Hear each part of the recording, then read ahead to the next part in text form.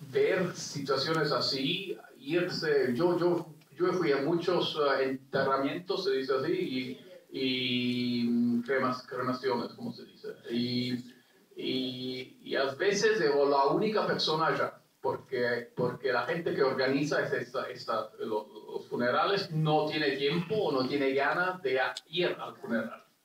Entonces yo me encontré muchas veces la única persona había un fete, el, muerto y yo.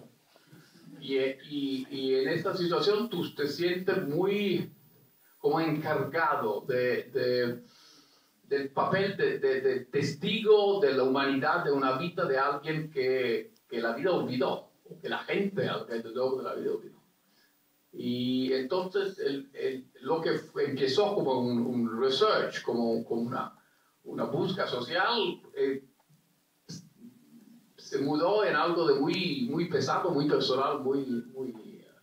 y empecé también a pensar lo que es vivir solo. Um, um, hace cinco años yo tengo tres hijas, una mujer, una ex mujer, uh, que uh, también escribe música por, por películas y, y hizo la, la música de